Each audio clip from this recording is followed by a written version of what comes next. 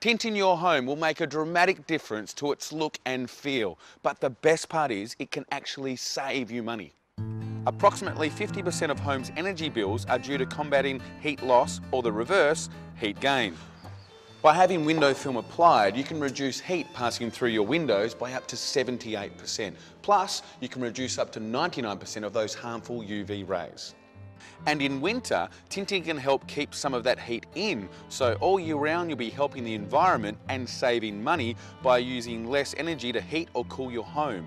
On average, you can save up to 15% on energy with solar controlled window films.